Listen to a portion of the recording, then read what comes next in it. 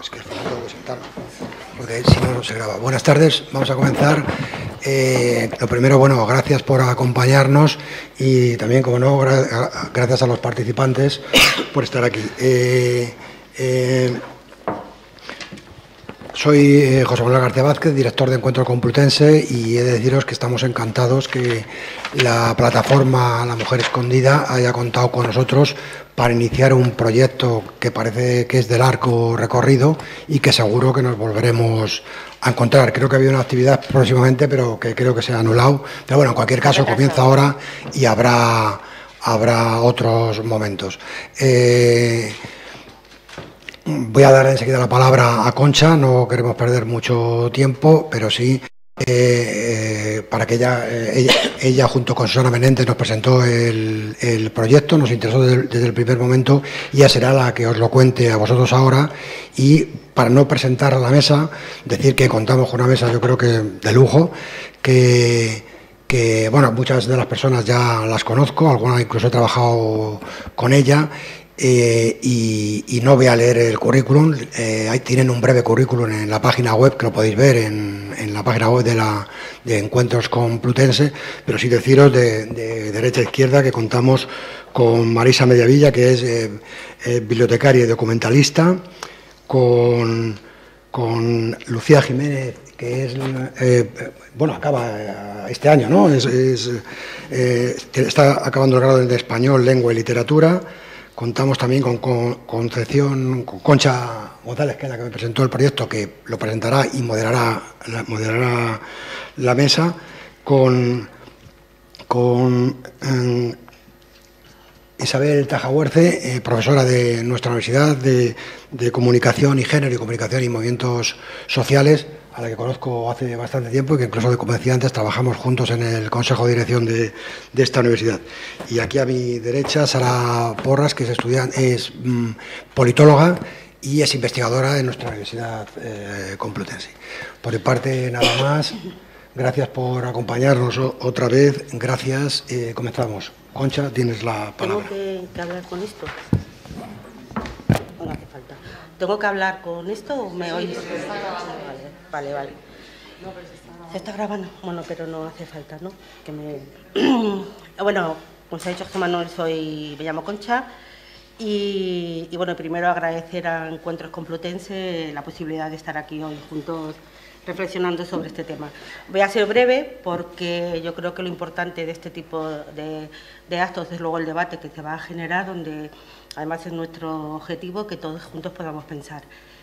Eh, la plataforma Mujer Escondida es una plataforma que ha surgido hace poco y está formada por, diversas mm, personas de distintas edades, profesiones, pero que a todos nos une algo en común y es que todos somos feministas, digo todos porque no todos somos mujeres, y también hay otro aspecto que, creo que es importante resaltar en esta plataforma, que somos también solidarios.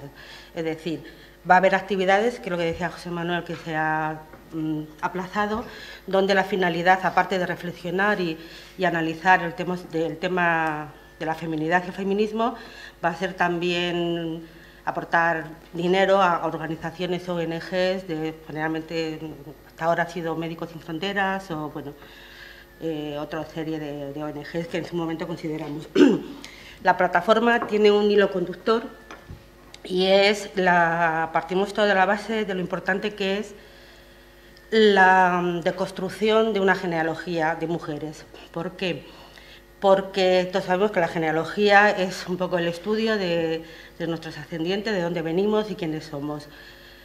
Si, si nos paramos a pensar en la genealogía de que las mujeres tenemos, sería como equiparar a una persona que se pone a mirar su historia y ve que todos sus ascendientes son, tienen limitaciones, les pasa algo, eh, no son inteligentes, son dependientes. Mm, marca un poco el espejo en el cual nos identificamos. Por eso es importante que podamos entender y deconstruir, porque en el momento que las mujeres tenemos conciencia de nuestra situación, y los hombres, pero vamos, somos las mujeres las primeras que tomamos esa conciencia, eh, estamos obligados a conocer nuestro pasado y a entender por qué nos pasa lo que nos pasa. La genealogía que planteamos y la que planteamos nosotros trabajar y analizar es desde el punto de vista de intentar entender dónde está el pasado de nuestras verdades. Porque partimos de la base de que las verdades son verdades absolutas y bueno, no es así.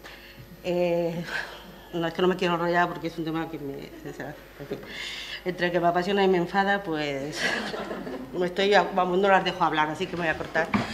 Bueno, la personalidad surge a través de, la identificación. ¿Qué es la identificación? La identificación es la apropiación que hacemos de rasgos, eh, atributos o imágenes que vemos en el otro y las hacemos nuestras. Eso es, lo hacemos desde niños. Eh, si nos ponemos a pensar otra vez, claro, el modelo de identificación que tenemos las mujeres es un modelo devaluado, en donde se nos dice lo que no somos, es decir, no somos inteligentes, no somos capaces, estamos por detrás del hombre, y además lo que sí que nos dicen que somos eh, no está valorado. podemos ser cariñosas, podemos ser empáticas, podemos tener cuidado con la intimidad, podemos tener un sentido estético de la belleza, pero eso es de, menor valor que aquellos rasgos que se, definen como universales y lo que en realidad son, son masculinos. por eso nosotros nos planteamos eh, trabajar en, un doble sentido, ¿no? desde la asociación. Por un lado, hacer visible mujeres de la historia importantes, eh, valiosas, que, desmontan esta genealogía que la narración histórica nos cuenta, pero no solamente visibilizarla, sino visibilizarlas para que haya un cambio en, el relato histórico. Si solamente se, visibilizan sin más, a lo largo no va a servir para nada. Tienen que estar formando parte de la historia oficial, es decir, tendrían que estar en los libros de texto.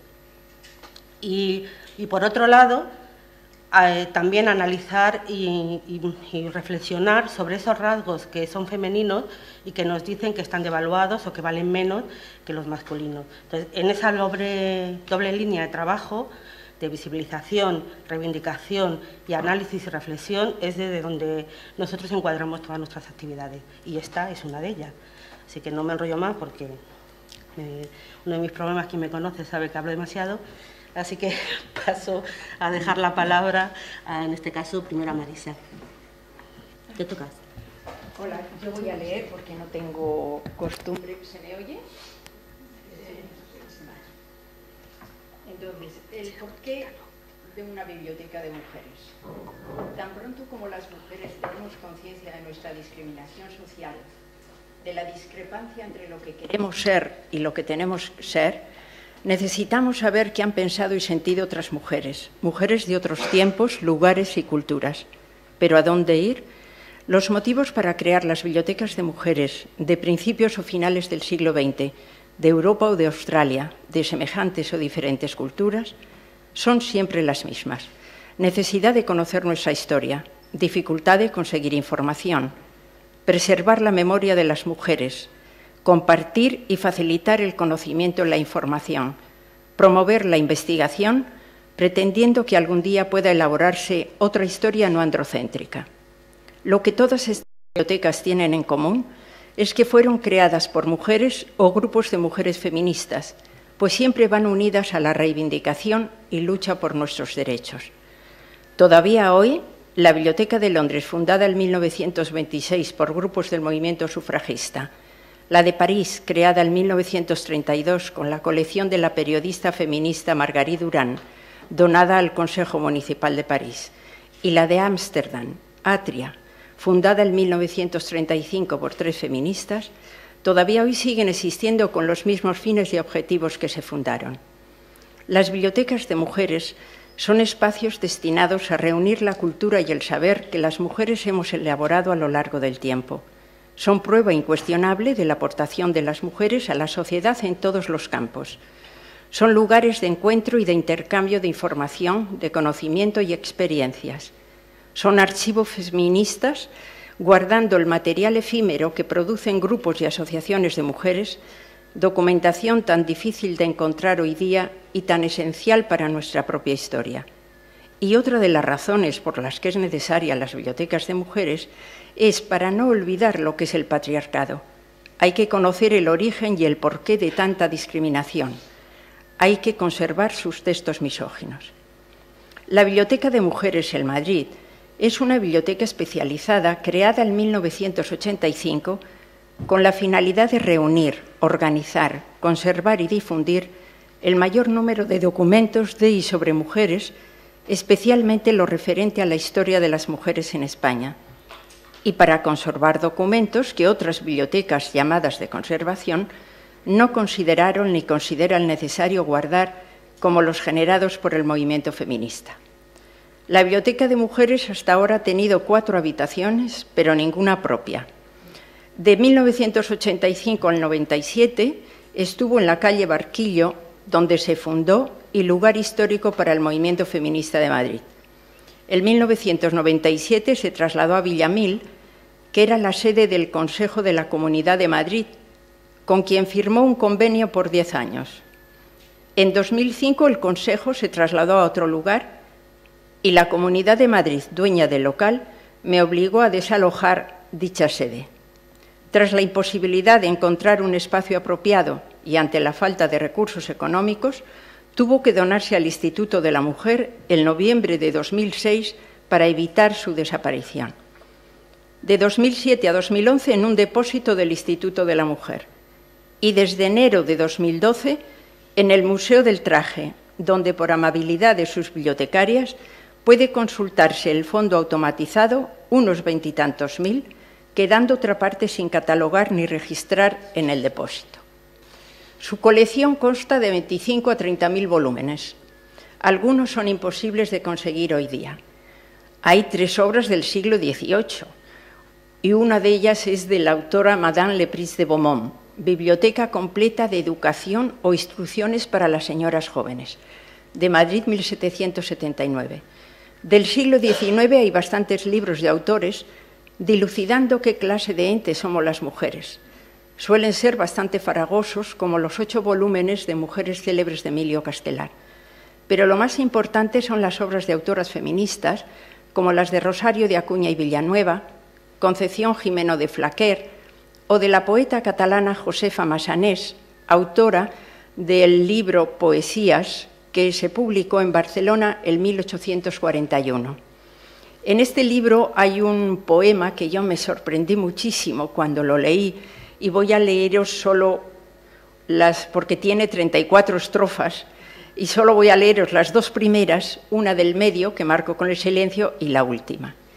El título del poema se llama La resolución. Que yo escriba, no por cierto, no me dé Dios tal manía, antes una pulmonía, primero irme a un desierto, antes de componer quiero tener por esposo un rudo, malnacido, testarudo, avariento y pendenciero o no habrá quien me convenza. Bien puede usted arguir, una mujer escribir en España, qué vergüenza. Y termina diciendo, anatema al escribir, al meditar y leer. Amigo, solo coser o murmurar y dormir. Este poema lo escribió en julio de 1837 a sus 26 años. Imaginaros mi sorpresa cuando en los años 80 lo descubrí y era como descubrir otro mundo que había existido, que yo desconocía. Del primer tercio del siglo XX hay estudios sobre sexualidad, transexualidad, medios para evitar el embarazo, prostitución, legislación sobre el trabajo de mujeres, sobre el divorcio, la reforma eugénica del aborto y tantos temas que hemos tenido que esperar casi 50 años para volver a hablar de ellos. Del segundo tercio del siglo XX están las obras de la sección femenina, y otros libros sobre la extraordinaria misión de la mujer, cuyos autores son casi todos curas, religiosos y médicos. El pudor, la castidad, la virginidad, la maternidad y la sumisión son sus protagonistas. Pilar Primo de Rivera, directora de la sección femenina de la Falange, dijo en el primer congreso del SEM en 1942, Las mujeres nunca descubren nada. Les falta desde luego el talento creador reservado por Dios para las inteligencias varoniles. Nosotras no podemos hacer nada más que interpretar mejor o peor lo que los hombres nos dan hecho. Del último tercio del siglo XX ya hay ensayos sobre los diferentes temas, biografías y obras de creación literaria, pero además también hay literatura gris, revistas antiguas y modernas, archivo feminista, colecciones especiales de carteles, tebeos, fanzines, etc. Para consultar su colección hay que entrar en los catálogos online del Instituto de la Mujer y de la web de Mujer Palabra. Eh, la web Mujer Palabra es de la antigua colaboradora y activista nata Michelle Regnier, que aloja otros catálogos y tesauro y el tesauro que pueden descargarse. Aunque la Biblioteca de Mujeres es del Instituto de la Mujer y está en el Museo del Traje, desde el 2006 que hicimos la donación, nos reunimos otras colaboradoras para seguir trabajando por la biblioteca y reuniendo otros ejemplares. En estos momentos estamos en la calle Bravo Murillo 4, que es un espacio del Ministerio de Sanidad junto con otros grupos de mujeres. La Biblioteca de Mujeres es en sí misma un testimonio de la lucha pues se creó en el momento de reivindicación del movimiento feminista y también porque es el resultado de la colaboración de otras muchas que han pasado por ella durante estos 35 años y de miles de horas de trabajo no remunerado. No olvidemos que las bibliotecas de mujeres son un patrimonio cultural del que hasta ahora hemos carecido las mujeres. Nuestra memoria también es memoria histórica y su finalidad es testimoniar nuestras vidas, creando genealogías. La Biblioteca de Mujeres tiene que ser un testimonio permanente para aprender del pasado e impedir que los derechos que hemos conseguido vuelvan a perderse como hasta ahora. Nuestros derechos conquistados nunca son definitivos. Recordemos el derecho al aborto conseguido en 1987 en Cataluña, la incompleta ley obtenida en 1985 y de nuevo en 2013 tuvimos que polear por el mismo derecho. La historia de las mujeres apenas ha empezado a contarse desde el punto de vista de sus protagonistas, por lo que hay que guardar y difundir todos y cada uno de los documentos que contribuyan a ella. Muchas gracias.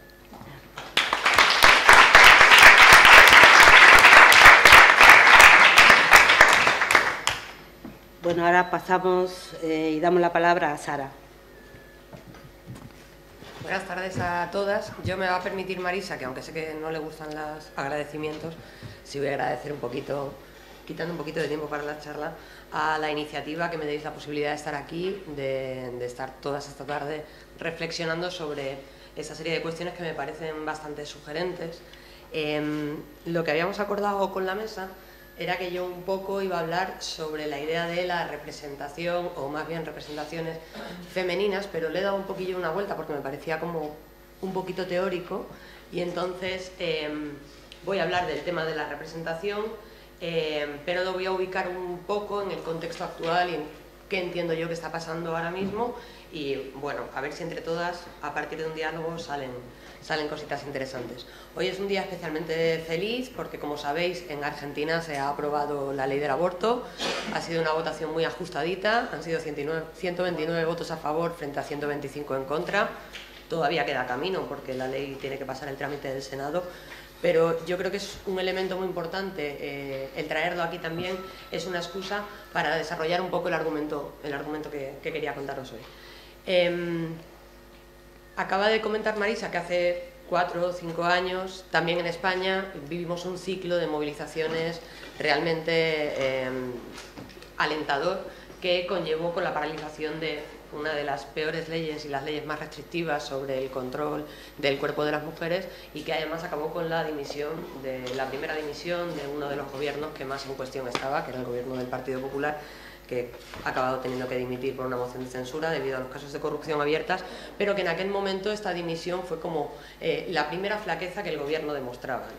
Era una batalla que cuando se empezó a librar aquí muchas personas daban por perdida, de hecho se vio que al principio eh, los partidos políticos no, tenían una gran apuesta por, las movilizaciones y que sin embargo el movimiento feminista, eh, las mujeres consiguieron sacar adelante con un gobierno de tradición católica que sabemos que parecía que esta que, este, que esta propuesta iba más a contentar a un electorado y que le traía más costes retirarla que sostenerla. Y sin embargo eso fue posible gracias a todo un despliegue militante sobre el espacio público que durante muchos meses las mujeres sostuvieron y que permitieron articular otros discursos y permitieron traer eh, al espacio público una situación que era real. ¿no?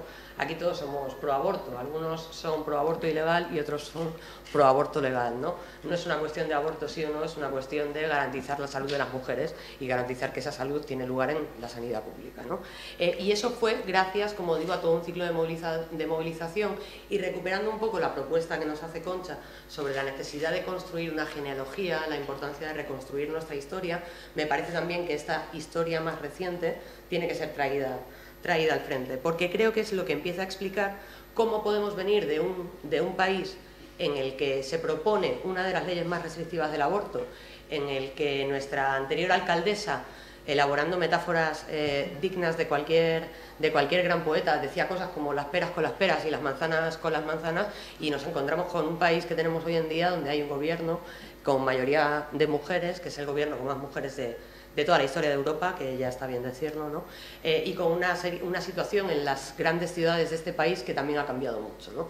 Unos ayuntamientos que en lo que corresponde a esta charla tienen una inquietud y un discurso eh, que difiere mucho de cómo se articulaban los discursos anteriormente referidos a el género, a la cuestión feminista y, a este tipo de, de elementos. ¿no?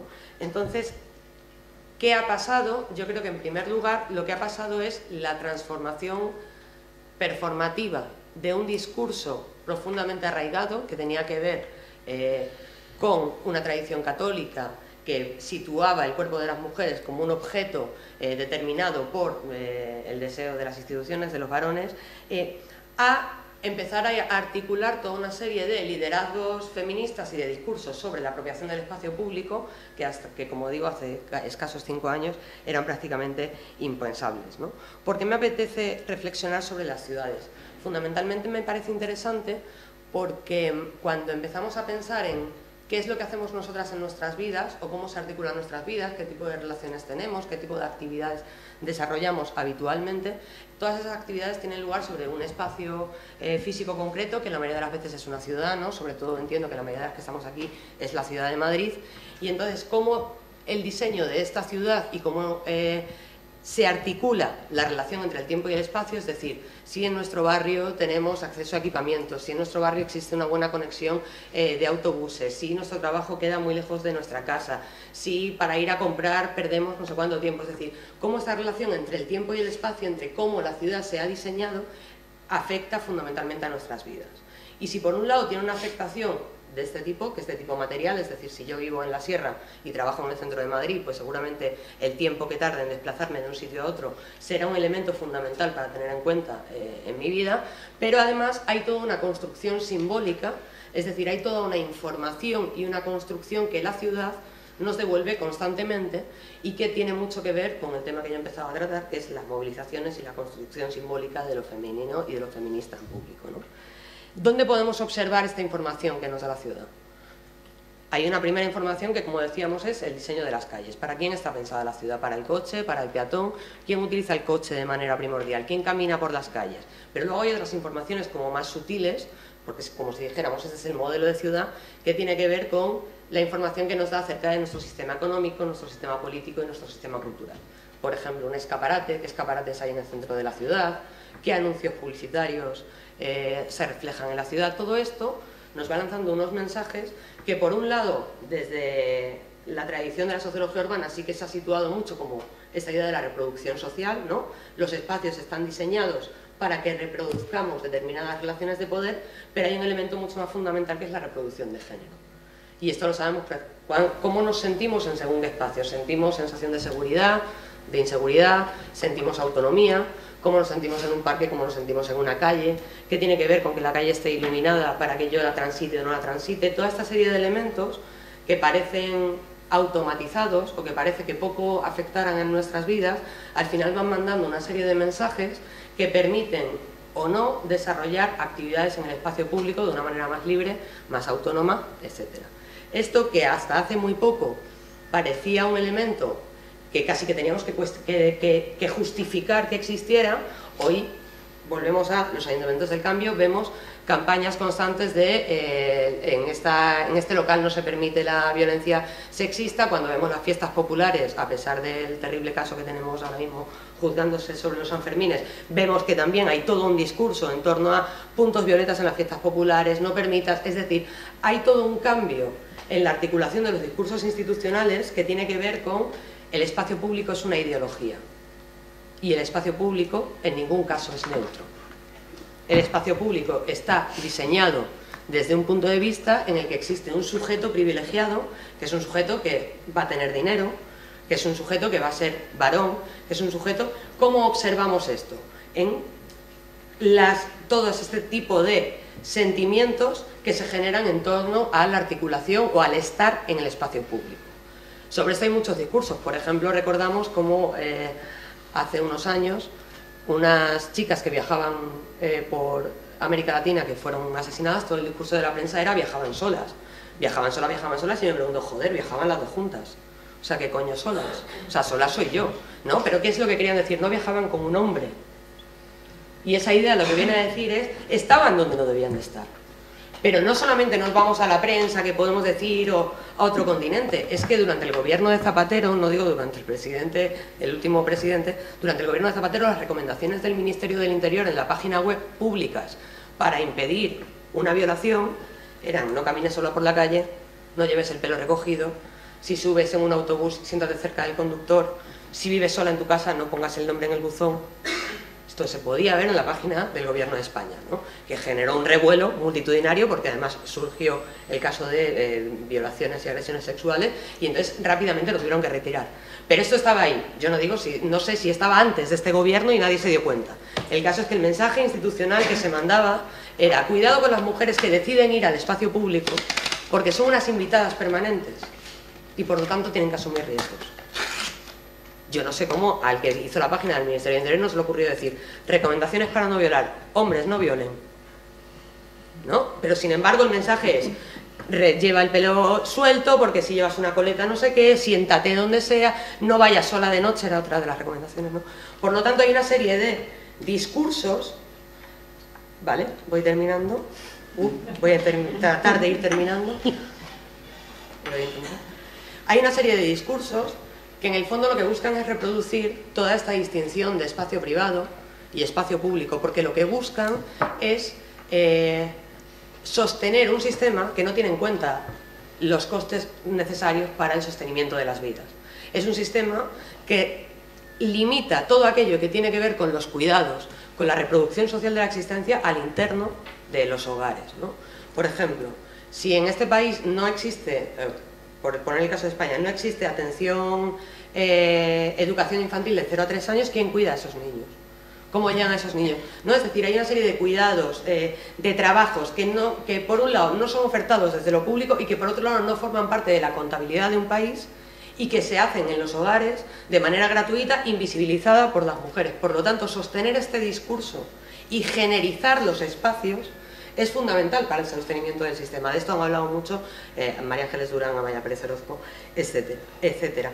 Y en la otra cara si esto, ya con esto quiero dos minutitos, eh, si esto fuera una foto fija, es decir, si cogiéramos la ciudad y entendiéramos pues todo esto que estamos hablando de la información que sentimos, cómo, cómo percibimos un espacio, si nos sentimos o no seguras, qué importancia tiene el diseño de ese espacio, cuáles son los elementos que a mí me transmiten un mensaje o me transmiten otro, pensemos también en la otra información que tiene que ver con información histórica. ¿Quiénes están en las placas de las ciudades? ¿Cómo se llaman nuestras plazas? Cuando pasamos por ahí, ¿a quién recuerdan? ¿A quién le dan la autoridad de decir es un personaje ilustre de esta ciudad?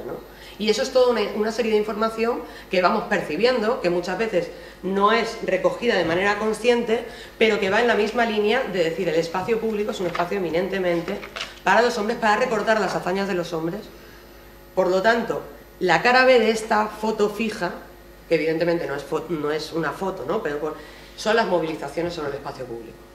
Y en este país ha sido posible un gobierno con muchas ministras que en el, discurso de la censura, de la moción de censura, Pedro Sánchez dijo, este país cambió el 8 de marzo. Es decir, haciendo referencia, porque todos los espacios que hemos conquistado las mujeres han sido conquistados, absolutamente, venimos de ese contexto político que ha generado la aparición de nuevos liderazgos eh, femeninos muy importantes como eh, Mónica Oltra, Ada Colau, Manuela Carmena, eh, Teresa Rodríguez, la propia Susana Díaz, es decir, mujeres que no viniendo desde espacios feministas, sin embargo sí representan de alguna manera valores, actitudes, discursos y mensajes que no eran los tradicionales en el espacio público. El plan estratégico de este ayuntamiento se llama Madrid Ciudad de los Cuidados. Es el plan estratégico. O sea, hemos pasado de las peras y las manzanas a decir que la importancia de una ciudad es articular estrategias que permitan sostener la vida y que esa vida se sostiene de manera invisible, entren en la página web y lo, verán. Y esto todo es posible gracias a la apropiación, Concha hablaba de lo mismo, ¿no? Hay que partir de esta resignificación a apropiarnos a la apropiación del espacio público que las movilizaciones feministas han hecho.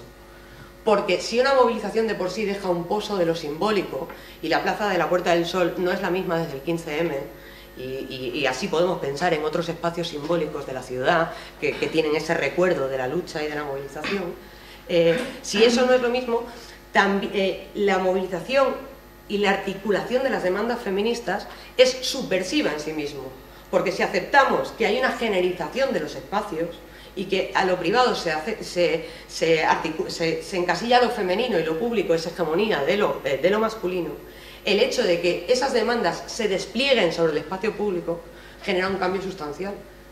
En lo femenino, en lo personal es político. El divorcio era una cuestión de, era un asunto privado, se convirtió en ley. La violencia machista era un asunto privado, se convirtió en ley.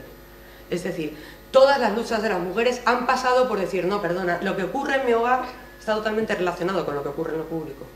Y el hecho de que yo sea una invitada permanente es porque tengo que estar de manera fija, discontinua, dentro del hogar, ¿no? atendiendo todas estas necesidades. Porque ¿quién va a cuidar a mi hijo de 0 a 3 años? Pero ¿quién va a cuidar a mi hermana si coge un cáncer y no necesita estar hospitalizada? ¿Pero quién va a ir a recoger a mis nietos? ¿Pero quién va a ir?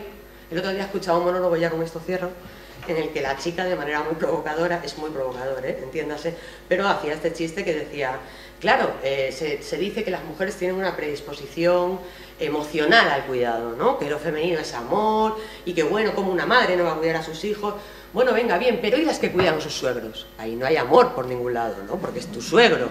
Entonces, claro, en un momento determinado, al parecer un hombre de la sala se ofende. Y dice, bueno, basta ya, ¿y qué vamos a dejar? ¿Morir al Señor? Y la otra responde, bueno, está claro que tendremos que dejarle morir, porque que lo cuide el hijo no se lo plantea a nadie, ¿no? Muchas gracias.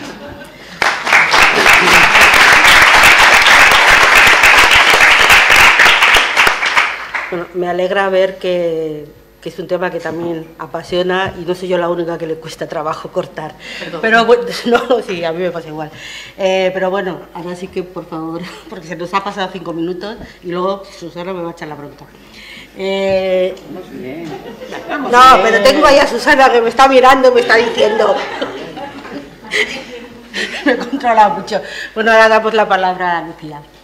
Bueno, hola a todas. Yo voy a intentar. Eh, controlar mi tiempo eh, con el cronómetro. Bueno, yo estoy aquí em, como filóloga, o sea, lo aviso porque voy a hablar de literatura, es lo que me he dedicado los últimos cinco años en, en esta universidad, eh, pero sobre todo estoy aquí porque soy cofundadora de la Asociación Universitaria Mujeres Olvidadas, junto a otras compañeras de filología y de filosofía. Mujeres Olvidadas nació en septiembre de 2016 y entonces fue la segunda asociación feminista de nuestra facultad, de la Facultad de Filología y Filosofía, y esto es importante porque cuando yo entré a la facultad en 2013 no había ninguna asociación feminista en nuestra facultad.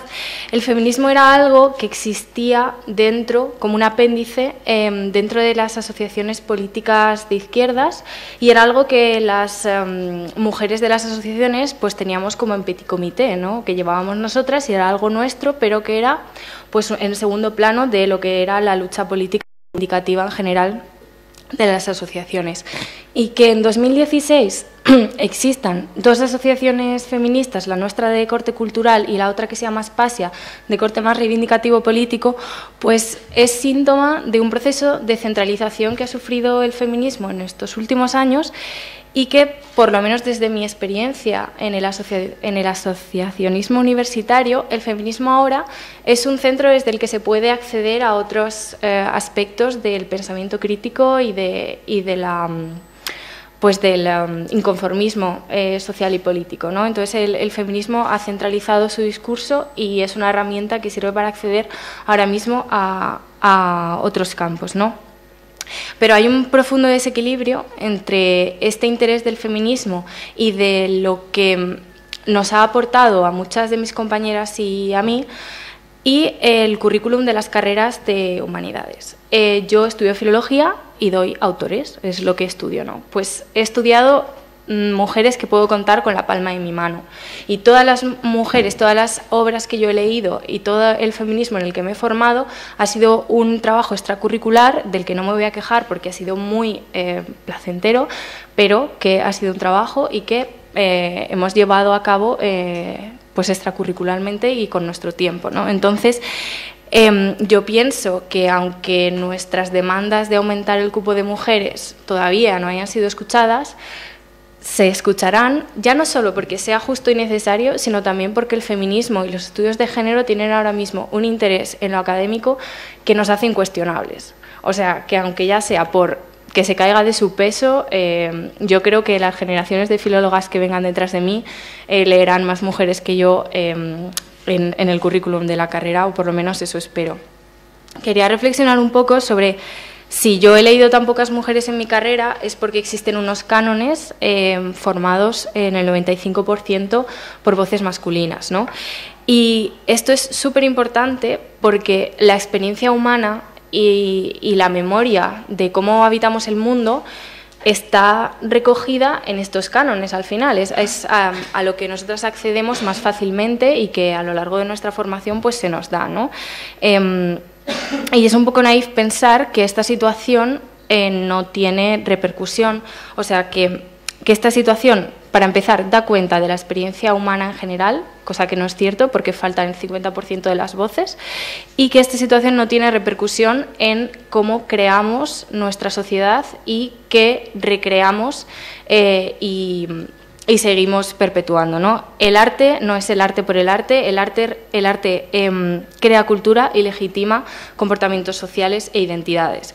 Así que hasta que, o sea, si no tenemos en cuenta el 100% de las voces, no vamos a, recrearnos de una manera completa y no vamos a llegar a las, a las verdades que comentaba Concha antes, ¿no? Eh, y esto es lo que nos hemos dedicado en nuestra asociación Mujeres Olvidadas, pues abrir un espacio eh, a contracorriente en, la facultad para todas las obras y voces de, de, mujeres creadoras que por mucho que no tengan su espacio en el canon, han existido y existirán siempre. De hecho, una curiosidad, el primer autor conocido del que un textito em, literario firmado es de una mujer de Mesopotamia, que se llama Eneduana, una sacerdotisa. Muy interesante. Pues eso, que escritoras ha habido siempre y siempre las habrá. Y bueno, eh, también quería reflexionar un poco sobre mm, el lugar de la mujer en este canon, ¿no?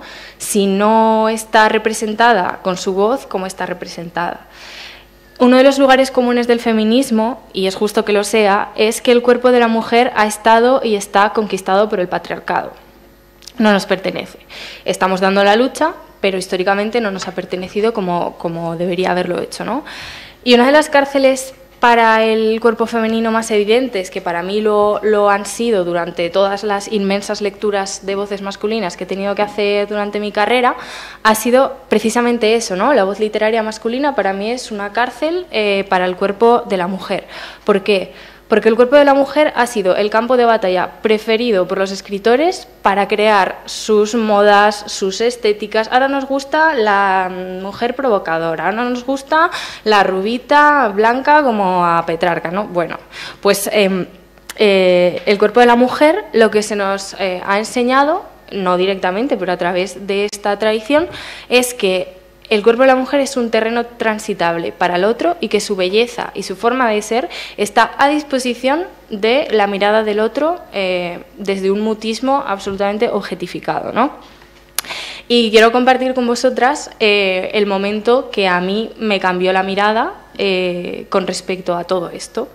Fue en segundo de carrera, en mi asignatura de siglo XVI, Garcilaso, Garcilaso, Garcilaso y otras cosas mucho más aburridas.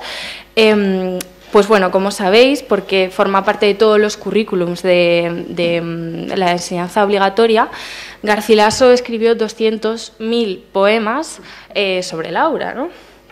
Bueno, pues, eh, y claro, en, esa época es uno de los momentos en los que la mujer es más objetificada y es la portadora de la poesía, ¿no? En forma de musa, ¿no? La poesía reside en el cuerpo femenino, de una forma silente. Y en el soneto quinto de Garcilaso, que es uno de los más famosos y que seguro que os suena, Garcilaso comienza.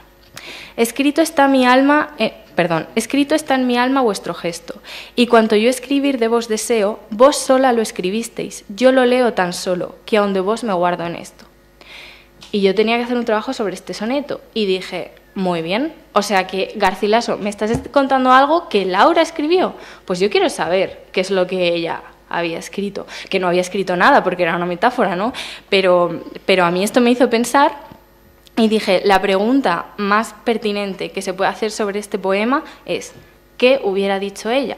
Y es así como he estado leyendo yo todo este tiempo a, a, todos, a Cervantes, a todos los que he tenido que leer, ¿no? ¿Qué hubiera dicho Laura? ¿Qué hubiera dicho Lolita de Nabokov? ¿Qué hubiera dicho la maga de Cortázar? ¿Qué hubieran dicho? ¿no? Porque tanto hablar de ellas eh, y tanto estar ellas calladas, pues bueno. Entonces, em, desde esta pregunta, ¿no? ¿qué pensaría ella? Lo bueno es que no necesitamos preguntarle a todas estas mujeres objeto de la tradición de la voz literaria masculina, porque tenemos autoras, desde Neduana hasta todas las mujeres que están creando y escribiendo ahora mismo, ¿no? Eh, pero no hace falta llegar al siglo XX para que el cuerpo femenino se reconvierta en un centro del discurso feminista. En el mismo momento, más o menos, que estaba escribiendo Garcilaso, tenemos a Santa Teresa escribiendo el libro de la vida, que aunque nos ha llegado y era una disculpa por mm, tener esos éxtasis tan peligrosos y era mm, una disculpa a su confesor, pues no hay Mm, discurso más poderoso sobre la libertad y la autonomía del cuerpo femenino que el libro de la vida de Santa Teresa, que bueno, es, muy largo y tal, pero eh, tiene, tiene muchísimo poder. ¿no? Entonces, ¿qué quiero decir con todo esto? Que a las feministas se nos acusa muchas veces de querer traicionar la historia de si lees a mm, Garcilaso con las gafas de tu feminismo del 2018, pues estás haciendo una lectura incorrecta y traicionera. Pues yo digo que no. Tenemos todo el derecho a cuestionar los cánones que para, desde, para empezar se han hecho sin nosotras y también a, decir, es que es ridículo eh, seguir leyendo a Garcilaso sin decir, es que hay una mujer en el centro y yo no puedo preguntarme si esa mujer quería estar en el centro, si esa mujer no tenía algo que decir. Yo voy a leer a Garcilaso y a todos con gafas feministas y me parece que es de lo más interesante que se puede hacer ahora mismo. Y es lo que decía, eh, los estudios de género son incuestionables y tienen un interés que no tiene ahora mismo casi nada en los estudios culturales. Así que mm, desde mi punto de vista somos incuestionables y bueno, eso es lo que pienso.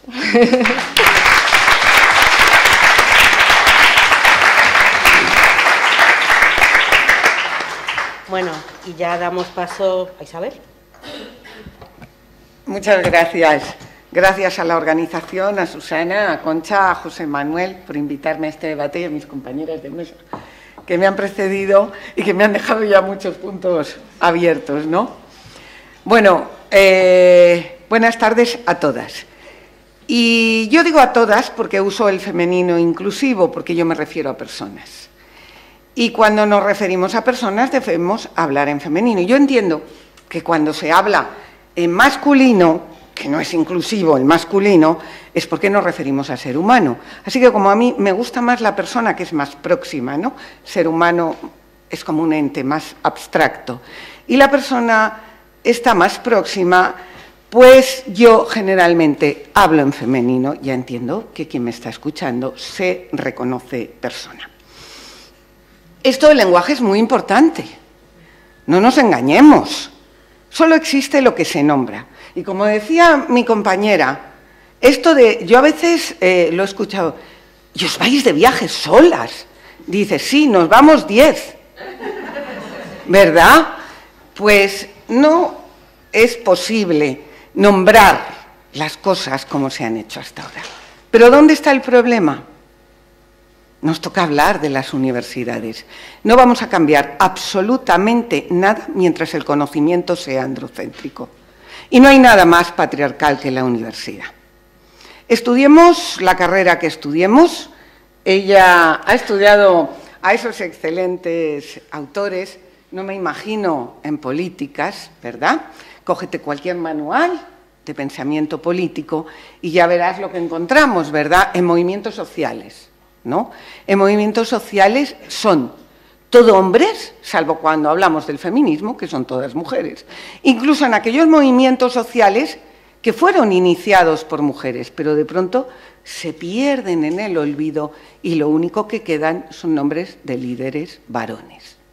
Algo pasa muy grave, ¿no? Eh, el cuerpo. Pero vamos a ver, si es que el cuerpo de las mujeres ha sido enseñado en las facultades de medicina, muy androcéntricas, por cierto, ¿no? ¿Qué ocurre con la farmacia? ¿Qué ocurre con la investigación?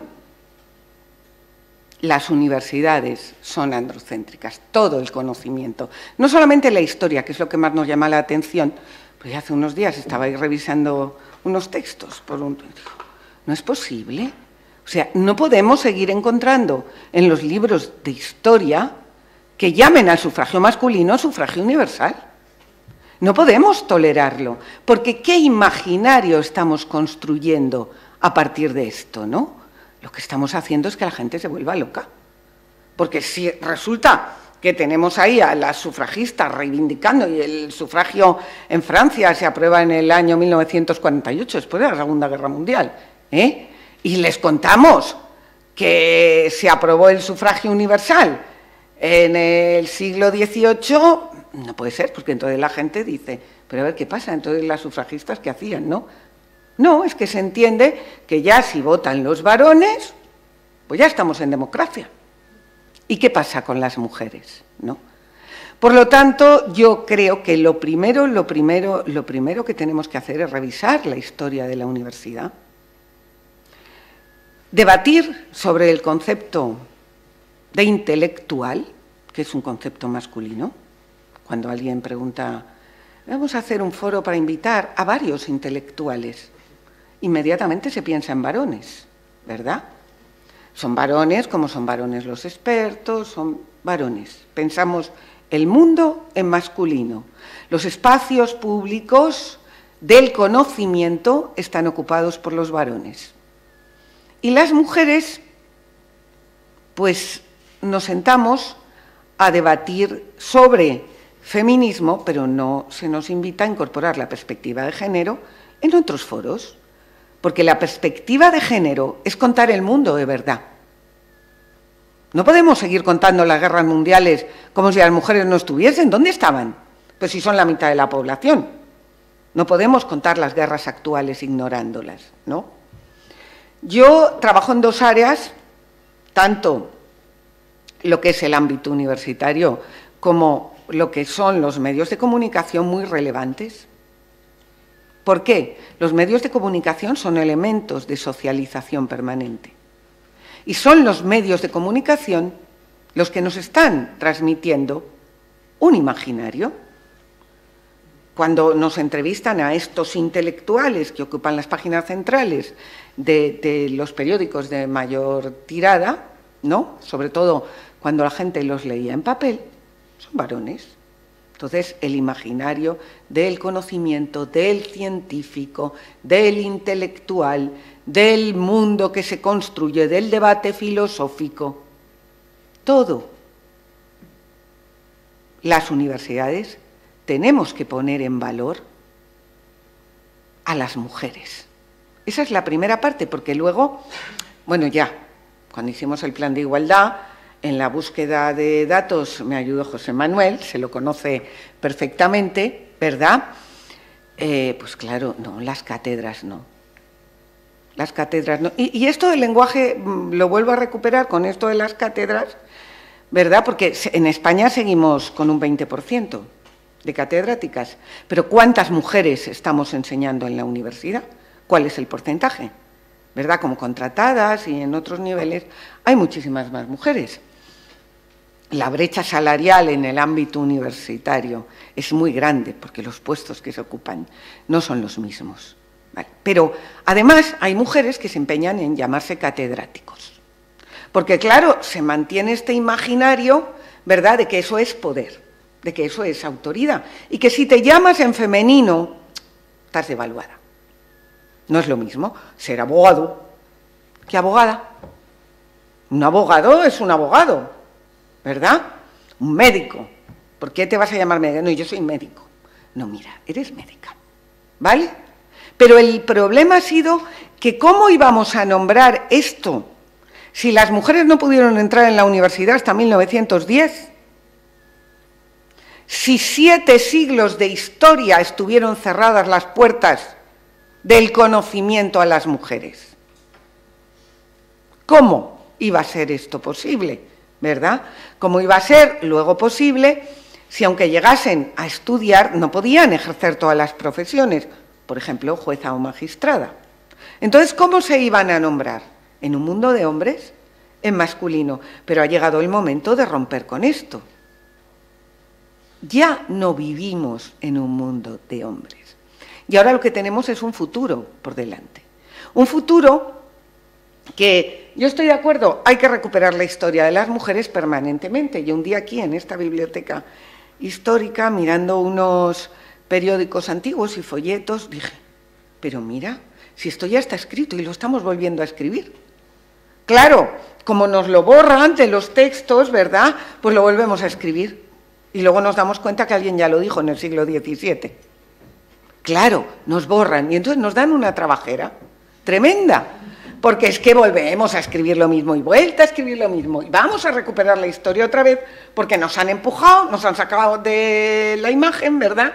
Y no estamos. Y esto es muy cansado y muy trabajoso. Y mientras tanto se está construyendo el futuro. Y el futuro nos va a caer en la cabeza sin que las feministas hayamos intervenido en él. El futuro no está escrito, ¿verdad? No es. Mañana no hay nada será que lo que nosotras queramos que sea. Hay que escribirlo. Pero mientras nos estamos recuperando otra vez y volviendo a escribir lo que ya escribieron otras, pues nos están construyendo el futuro. Así que entre el Instituto de Investigaciones Feministas y la Facultad de Ciencias de la Información creamos un seminario recientemente, en el año 2016, eh, sobre biotecnología, bioética, robótica y simulaciones desde una perspectiva de género y de la comunicación, porque se nos avecina un mundo que no nos podemos imaginar cómo es, pero nos lo han construido ya un poquito en la ciencia ficción. Y en esa ciencia ficción nos han reproducido los mismos estereotipos de género, exactamente iguales, ¿no?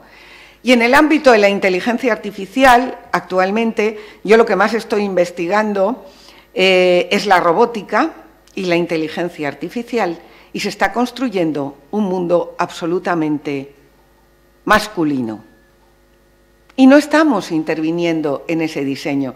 Como esto era muy corto, yo no os podía traer imágenes. Ayer estuve en otra ponencia eh, en otro lugar, como era un poquito más, eh, yo llevaba el, pendrive por si acaso, pero os recomiendo que lo veáis, lo que está siendo, por ejemplo, la construcción de la sexualidad y lo que están siendo los robots sexuales, que es en lo que más estoy trabajando actualmente. Cuando yo eh, creé el seminario, había hecho ya una investigación previa sobre muñecas sexuales hiperrealistas, que era lo que había entonces, con empresas que cotizaban en bolsa.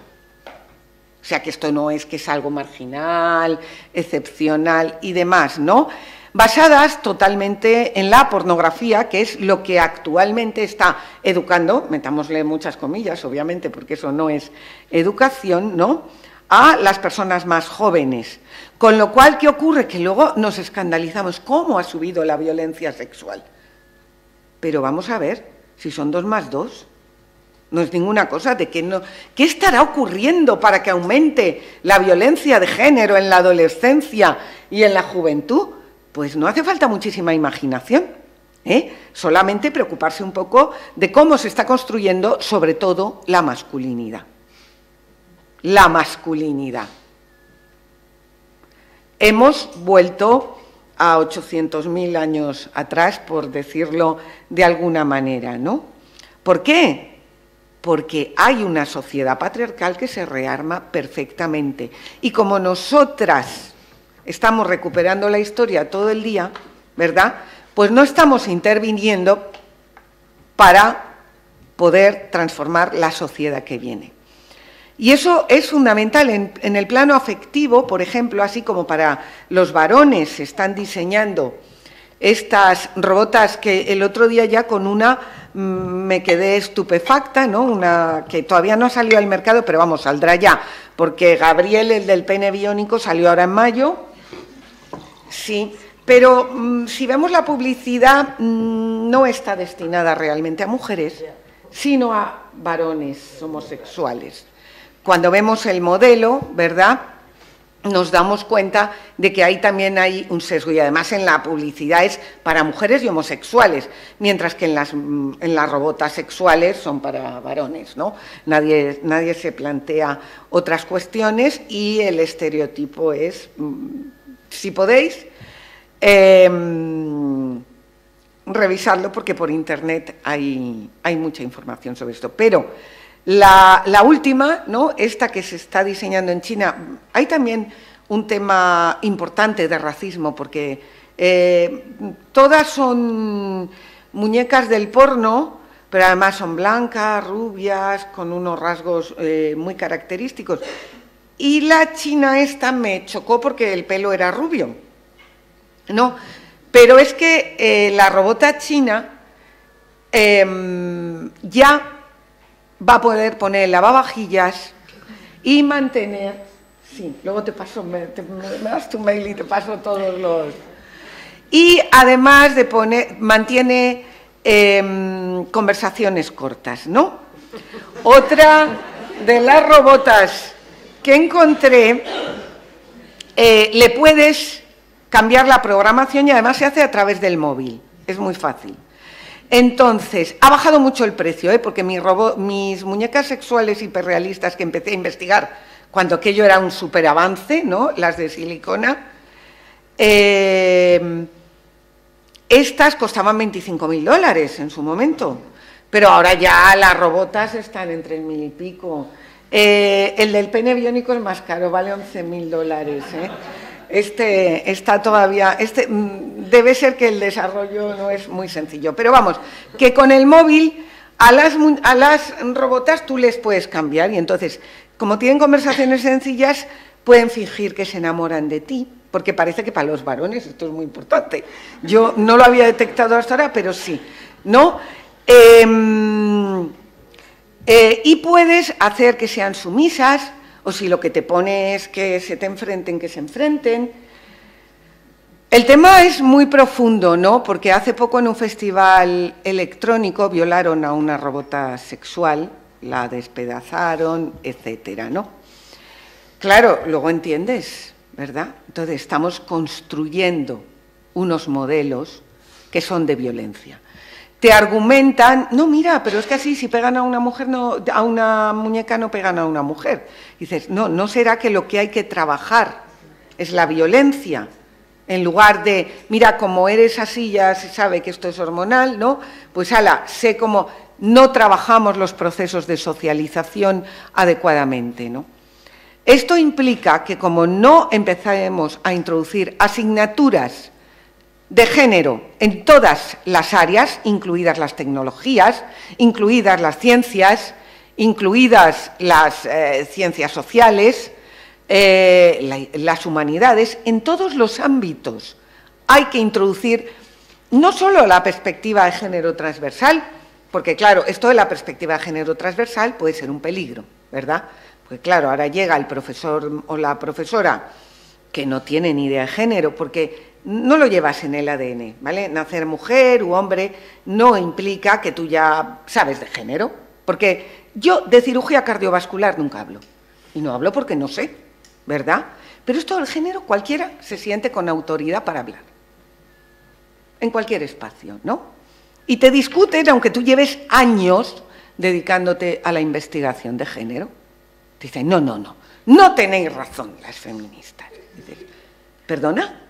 Eh, ¿Dónde has estudiado? Mm, ¿Qué, has leído? Yo llego un, un, tiempo que metí una bibliografía en el bolso, es verdad, habrá gente que os cuente que se la he dado, ¿no? Entonces metí una bibliografía en el bolso y cuando te venían y te echaban el discursito, yo sacaba la bibliografía del bolso y le decía, toma, ¿qué pasa? Y digo, que estamos hablando en diferente nivel. Entonces, claro, claro, cuando leas un poco, hablamos, porque es que mm, yo con alguien que no tiene ni idea de algo, pues es que no puedo hablar, ¿vale? Eh, entonces, igual que yo no hablo de, cirugía cardiovascular, espero que la gente respete lo que es el conocimiento, ¿vale? El conocimiento, el feminismo, lo que es una metodología de análisis, lo que son unos estudios que llevan mucho tiempo de dedicación, de investigación, etc. La forma, tenemos que ir a los colegios, ya sé que me estoy pasando, tenemos que introducir... tenemos que introducir asignaturas de, feminismo, como han hecho los australianos o los suecos, en los colegios. Eso sería un primer paso. Pero la universidad forma a profesionales de todas, todas, todas las áreas de conocimiento. Y la universidad tiene la responsabilidad de cambiar la sociedad, de transmitir el conocimiento a la sociedad desde la innovación y desde una perspectiva de igualdad. Por lo tanto, si introducimos asignaturas en educación, en derecho, en periodismo, en comunicación audiovisual, en historia, en informática, en físicas, etcétera, en medicina, etcétera, etcétera, etcétera, estaremos transformando a la sociedad porque esas personas, cuando después ejerzan sus profesiones, sabrán lo que es el género. La perspectiva de género también transversal, pero cuando hayamos formado al profesorado adecuadamente en lo que es género, porque si no, como os decía al principio, en el ADN no lo llevamos. Y nadie, nadie nos hemos formado en nuestro ámbito de estudio en género en la universidad, ¿verdad? Hemos recibido un conocimiento absolutamente androcéntrico. Por lo tanto, quienes están ejerciendo la docencia no tienen esa formación en género. Es un camino largo, pero de entrada habrá que introducir asignaturas de género en todas las áreas de conocimiento que deben ser impartidas exclusivamente por personas que demuestren su formación y su investigación en género y no por cualquiera del ámbito de la sociología, del ámbito de la comunicación, del tecnológico, etcétera, etcétera, etcétera. Eso es una decisión política. Y solo con decisiones políticas valientes podremos cambiar el mundo. No me enrollo más porque si no, tengo para mucho más rato. Muchas gracias.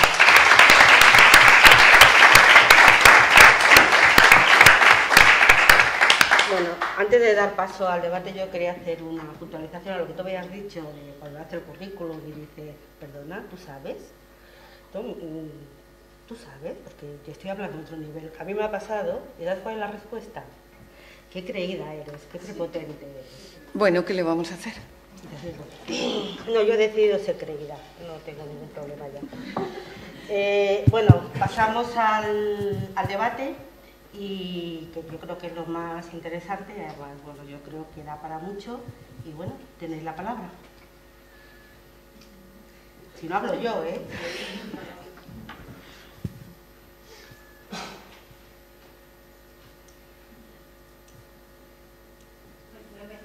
ya que ha sido tan membrana, muchas gracias a la mesa, a la universidad por, por hacer este evento posible. Gracias, Darío. Eh, decía que muchas gracias a la mesa por la participación, sois unas ponentes estupendas, me han encantado los temas, dejan mucho para pensar. Gracias a Encuentros Complutense por hacer posible este evento y bueno, me hubiera gustado que fuéramos más personas escuchando porque es un debate súper importante y lástima que no llega a todos los foros. Estamos en una sociedad que es verdad que aunque somos el 50%, le da miedo e insiste en que no se cambie nada para que se mantenga ese poder masculinizado que hablábamos. ¿no? cuando hablaba Sara del tema de las ciudades, me ha parecido súper interesante ver con esas nuevas gafas la ciudad y hay cuestionarte esas cosas. Me ha hecho muchísimas preguntas que no me va a dar margen a poderlas plantear, pero lo que ha dicho Lucía me ha encantado, el poder decir, voy a leerlo todo también desde otra perspectiva, cuando decía Isabel, incorporar esa esa, transversalidad de género, por supuesto que hay que hacerlo. Y muchas veces no somos conscientes de forzarnos a hacerlo. Y debemos cambiar, porque nuestras generaciones, las de ahora, las de antes, que decías el pasado, pero las futuras que vengan, no se va a poder cambiar nada si no hacemos revolución. Y hay que hacer esa revolución ¿no? desde esos focos. Marisa, yo no sabía que había ese potencial de, documentación en las bibliotecas, me ha dejado pasmada. De verdad que es, es ignorancia lo que tenemos sobre este tema. Y aunque es verdad que la historia no te puede estar siempre quedándote en el pasado, porque si no, yo lo comentaba antes de entrar, eh, que, hoy he leído mucho para intentar ponerme a un nivel mm, muy básico, pero intentar tener un, nivel suficiente para poder hacerme cuestiones. Eh, ¿Por qué el feminismo se ve como algo que lo hemos asimilado, que se supone que ya está incorporado, porque hablamos mucho feminismo, la primera ola, la segunda ola, la tercera ola, ya no sé cuántos mares llevamos recorridos y volvemos a hacerlos, pero no, no, avanzamos, no avanzamos porque no se quiere avanzar, porque no se quiere ceder ese poder. Entonces, eh, yo eh, me hubiera gustado eh, que, que, de aquí saliéramos con vías de trabajo, es decir, eso que habláis de, hay que trabajar en incluir en la universidad eh, en, las, áreas curriculares todas estas materias.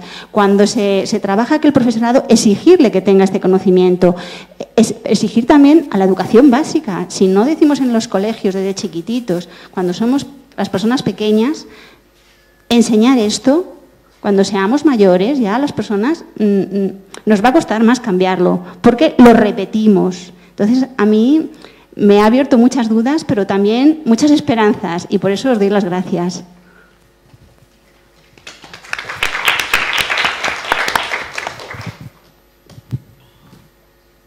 Yo quiero decir una cosa, sé que me vas a matar, pero mucho, mucha culpa de que esto esté aquí es por Susana.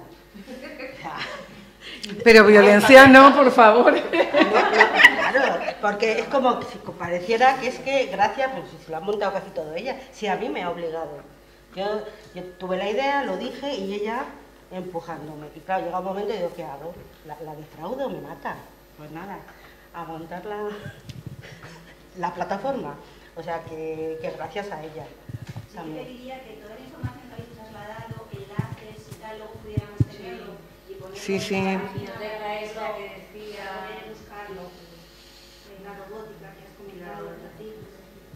Sí, sí. Yo estoy aquí en la cámara, pero bueno, que Isabel me ha, me ha, interesado mucho el tema de la pornografía que has hablado. Y es que yo conozco a una directora de cine sueco, la sigo bastante, que es Erika Last, que vive en Barcelona y ella se ha planteado hacer un porno feminista si es que eso es posible. Entonces, es, esa, esa, es la pregunta, si es posible un porno feminista y si es con, con, un, con una intención didáctica o con una intención recreativa o, todo el tipo de intenciones. Entonces, me, me llamó la atención ese, ese concepto. Gracias.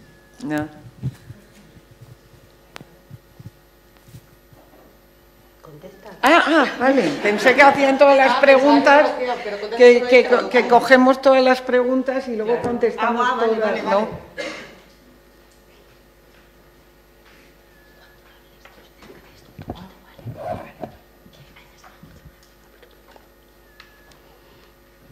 Yo creo que vamos contestando pregunta por pregunta, porque vale. no, se nos van a animar. Me pregunta si hay un porno feminista. Hay, uno, se define como tal, eh, pero yo no lo comparto, ¿vale? Y de, hecho, además, el mismo término, ¿no? Porno, como para mí el uso del lenguaje es tan importante, pues eh, no estoy de acuerdo, ¿no? Ahí, a lo mejor podéis contestar otras. ¿eh? Yo, yo quería contestar yo creo, es, una pregunta para pensar y reflexionar. Desde mi punto de vista, yo soy psicoanalista. Desde mi punto de vista no, no es porno feminista, en todo caso será porno femenino. Hay una diferencia entre femenino y feminista. ¿Por qué no puede ser feminista? porque el porno es la cosificación del cuerpo.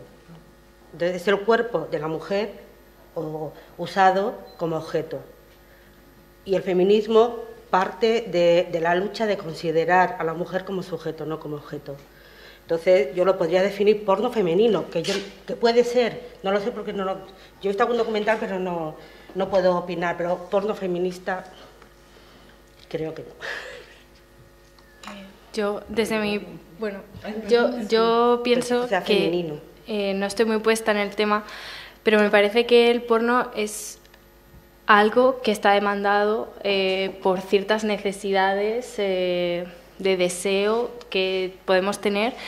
Y es verdad que el porno que conocemos es un porno que cosifica, pero las relaciones sexuales también puede darse entre dos sujetos que comparten una experiencia y que los dos están, o dos o más, los que sean, están eh, compartiendo y haciendo, creando algo entre los dos. ¿no? Entonces yo creo que sí que, no, ya digo que no estoy puesta en el tema, pero si se intentara, y, me consta que hay gente que lo está, que lo está haciendo, em, también porque es, es lo que has dicho, ¿no? Cómo, eh, cómo, cómo se educan Vivimos en una sociedad totalmente eh, audiovisual, ¿no? Eh, los adolescentes se meten en Internet y encuentran lo que quieren. Si tienen más opciones y un porno distinto, se educarán también de otra manera. Si uno de los problemas eh, del auge de la violencia machista es eh, qué tipo de educación sexual los adolescentes reciben, pues intentar un porno distinto de sujetos en vez de objetos, si es que eso es posible, y yo creo que, que sí, pues, pues sería interesante. Pero perdóname que te quite la palabra un segundo, pero primero habrá que introducir la educación sexual en los centros escolares, ¿no? Que es una de las cosas que ha desaparecido totalmente. Hubo un momento ahí pequeñito en el que hubo educación sexual y entonces que lo primero es la educación sexual. Y creo que esa parte es fundamental y esencial, porque eh, sustituir por eh, autoeducación a través de Internet puede generar eh, mucha confusión, ¿no? Entonces, eh, introducir la educación sexual es básico para cambiar lo que están siendo actualmente los estereotipos de género y prevenir la violencia. Entonces, igual que asignaturas de feminismo en los centros escolares, educación sexual, obligatoria. Porque si es optativa de esta como ahora, que tienen que firmar los padres y madres, luego no firman. Entonces, mm, no, tiene que plantearse desde otra óptica, ¿no? Y ahora ya le dejo a Sara. Tengo aquí un dilema porque no sé cómo si entrar en el debate, que es como un gran viejo debate desde el feminismo muy sugerente, o, no sé. Entonces, yo os voy a lanzar unas preguntas a vosotras y así, pues, bueno. Primero, eh, aquí se han dicho algunas cosas, o sea, eh, se ha hablado de las movilizaciones, se ha hablado un poco también de las valoraciones de cómo entendemos en qué punto estamos, y mm, a mí me da la sensación que yo, y luego respondo a lo del porno, ¿eh? no me escaqueo, que yo soy un poquito más optimista, o sea, porque, mm, claro, que yo entiendo que todo es matizado y que estando muy de acuerdo con todos los discursos que se han dado, yo no creo que estemos yendo para atrás. Eh, yo creo que estamos en un momento de impugnación del patriarcado como en, en pocas veces pasa en la historia, porque que esto recogiendo un poco los análisis de, Silvia Federici, que es se ha hecho muy ahora con su libro Calibán y la bruja, pero tiene bastantes otros también muy sugerentes, ella lo que plantea es que frente a grandes momentos de crisis económica y de transformaciones como las que estamos viviendo ahora, ¿no? a partir de fundamentalmente el estallido financiero del 2008, que se recompone todo el sistema económico mundial, es fundamental reconstruir el patriarcado, ahí eh, Isabel habla del realme patriarcal, fan con ese concepto, creo que es lo que está pasando, que hay un realme patriarcal, pero que al mismo tiempo que está pasando que hay toda una respuesta en la cual se intenta controlar el cuerpo de las mujeres y por eso en España tenemos que volver a vivir el debate del aborto, por eso también en Grecia y en Italia se está amenazado, por eso en Argentina también se abre, es decir, igual que está pasando eso, también está pasando que hay toda una fuerza eh, militante, feminista, arrolladora, que no solamente está pasando en España, es que está pasando en España, está pasando en Turquía, en Irán la semana pasada hubo grandes eh, manifestaciones también, en Chile, en Argentina, en Perú, en Ecuador, en Washington, en París, en Alemania, es decir, hay una serie de, movilizaciones feministas eh, que están siendo recogidas por los grandes medios de comunicación porque están siendo obligados a recogerlas, es decir, porque ya no pueden ignorarlas más, como ha pasado aquí en Madrid, ¿no? La manifestación del 8 de marzo, un montón de periódicos, gran movilización, gran movilización. Bueno, es que el año pasado decíais lo mismo, gran movilización, pero es que el año anterior también, o sea, no es una movilización histórica, es decir, hay una escalada y yo creo que estamos dando la batalla. Yo creo que el hecho de que Beyoncé, que es como el paradigma de lo que no sería lo que entendemos por feminista, puede ser, salga en la Super Bowl con la pancarta feminista cuando hace tres años si decías feminista parecía que no te depilabas desde hacía tres, olías mal, eras lesbiana, no, o sea, había una serie de atributos, tenías la nariz grande, volabas en escoba, o sea, una, y ahora todo el mundo es feminista, que hasta H&M saca una campaña de...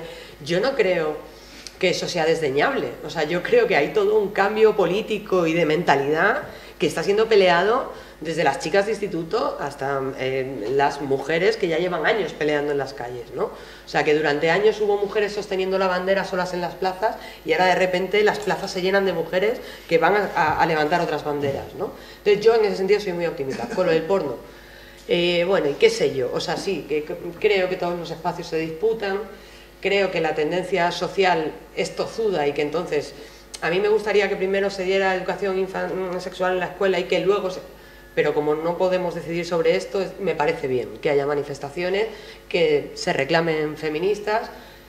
A mí me preguntan, yo no soy consumidora de pornografía porque entre otras cosas considero que no se trata únicamente de sujetos diversos, que es lo que podría haber dicho, eh, creo que ha dicho Lucía, ¿no? Mm. Eh, sino que de lo que se trata es de qué entendemos por la sexualidad. Porque a mí me parece, sin ser experta, que el porno lo único que entiende es el acto físico en sí.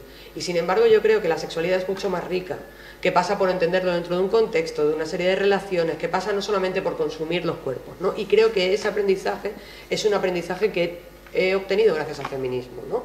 Y gracias a entender que las mujeres somos mucho más complejas, que entran, no sé, y que esto eh, que cada una haga lo que quiera con su cuerpo, ¿eh? que yo no estoy dando un juicio moral. Yo digo, a mí me preguntas, bueno, para mí la sexualidad va mucho más allá de la captura audiovisual del acto físico, sino que tiene que ver con toda una construcción de sentido, que creo que eso no se disputa en el porno. Más allá de eso, me parece bien, conozco también a Erika, a Marta Miller, pues también sería otra exponente en España que está intentando disputar ese espacio. En general me parece bien que se disputen todos los espacios y siempre estaremos mejor si hay gente que dice estar haciendo porno feminista que si, que si eso no existiera, ¿no?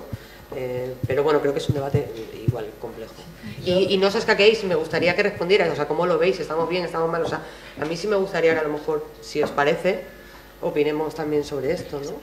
Yo, quería hacer una, una, una, puntualización porque me parece importante en la línea, en la línea además de lo que planteaba Isabel.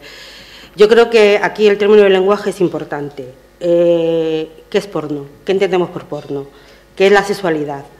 Porque estamos identificando porno con sexualidad y el porno sería una parte específica de la sexualidad. Eh, la representación simbólica de lo que hablamos es importante y habría que, antes de poder responder si sí o si no, yo creo que es un debate mucho más profundo que poder decir sí o no cuando yo he dicho que no puede ser el porno feminista, después me da cuenta de por qué lo he dicho. Claro, porque yo cuando hablo de porno estoy hablando de una representación del porno. Cuando Lucía habla de otra cosa, digo, claro, lo está hablando como lo que es la sexualidad. Entonces, ahí sí, claro que, puede, tiene que haber una sexualidad feminista. Yo, antes de, responder si, si hay porno feminista o no, tendríamos que matizar qué entendemos por porno. Desde lo que yo entiendo por porno, eh, es una cosificación y no desde la sexualidad, desde un concepto de sexualidad más amplia, sí. Eh, yo creo que a la hora de poder pensar y, bueno, y poder analizar estos temas que no se pueden responder aquí en un debate, porque creo que es para dar mucho. Claro, pero yo, pero yo, yo, lo que sí que resaltaría, lo que sí que resaltaría es la importancia de poder, que ese es uno de, los objetivos de la plataforma, de la necesidad que tenemos de reflexionar y de analizar y de hablar y darnos cuenta que, que estamos hablando cada uno de una representación diferente a lo mejor a la del otro. Y si queremos hacer una deconstrucción y queremos analizar, tendremos que ponernos de acuerdo. Si fuera una mesa, tendríamos que estar hablando, una mesa sobre el tema, tendríamos que estar diciendo, ¿y qué es porno? ¿Y qué no es? ¿Y qué es la representación de esto? Entonces, yo creo que lo que vuelvo a lanzar, porque para mí es fundamental en todo el trabajo y en toda la lucha feminista, es que podamos deconstruir todo este tipo de conceptos, que podamos ver de qué hablamos, que parece que hablamos todos de lo mismo y a lo mejor no lo estamos haciendo, y que si no hacemos eso mm, no va a ir a ningún lado porque vamos a estar hablando aparentemente de lo mismo siendo distinto. Mira, yo tengo unos amigos mexicanos que cuando fuimos a México hablan el castellano yo no me enteraba de nada. Te parecía que hablábamos el mismo idioma. Mentira. O sea, no hablábamos el mismo idioma. Y yo creo que aquí nos está pasando lo mismo. O empezamos a hablar de la importancia del lenguaje, de la representación simbólica de todo eso, o creemos que estamos hablando de algo y no nos estamos enterando, ¿no? Que es lo que yo creo que ha pasado aquí hoy con el tema porno, a mí me ha pasado, ¿no? Con porno feminista. ¿Sí ya? Sí.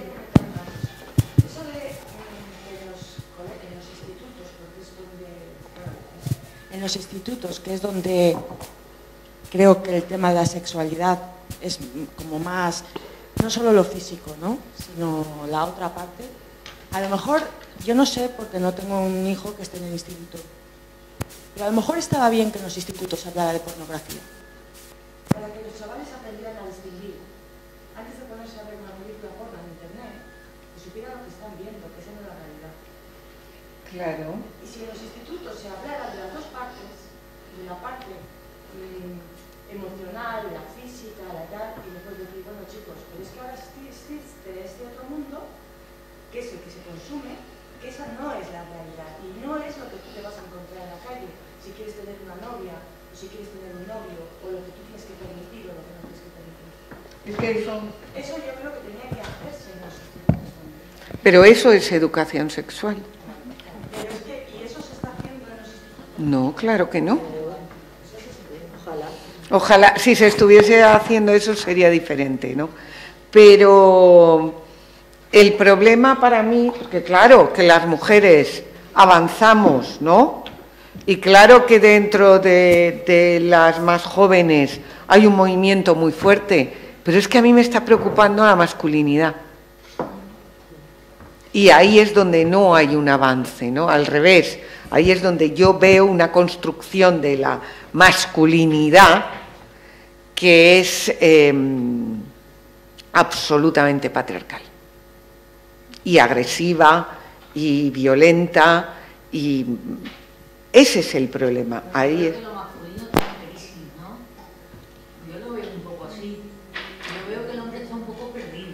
Bueno, yo no estoy hablando de la masculinidad en personas ya muy mayores, estoy hablando en adolescentes y jóvenes fundamentalmente, que es donde también hay un movimiento feminista muy fuerte. Hay muchísimas chicas actualmente, adolescentes, jóvenes, que han tomado conciencia, ¿no? Cosa que no está ocurriendo en el lado de los varones. Claro, entonces hay una masculinidad dominante del, de eso, del músculo, el poder, la fuerza, el dominio. De hecho, es que hasta si observamos a que la mayoría de... porque estoy ahora con otro proyecto y de pronto me encuentro entrevistando a adolescentes por otros temas, pero también surgen esas otras cuestiones, muchos que, que, a qué quieren dedicarse. Los niños cuando son pequeños quieren ser deportistas, en los adolescentes hay mucho que es, es lo físico, es lo físico, ¿no? Igual que se lleva el músculo, que el dominante, que en el tema de la sexualidad, pues como han consumido pornografía muy jóvenes, pues igual, ¿no? Es el mismo modelo. Entonces, eso eh, es muy preocupante. Claro que las chicas están tomando conciencia, pero hay otra parte ahí que yo considero que es imprescindible incorporarlo a lo que es mirar el mundo con una visión completa, con perspectiva de género. No me lo pongas, que no paro de hablar.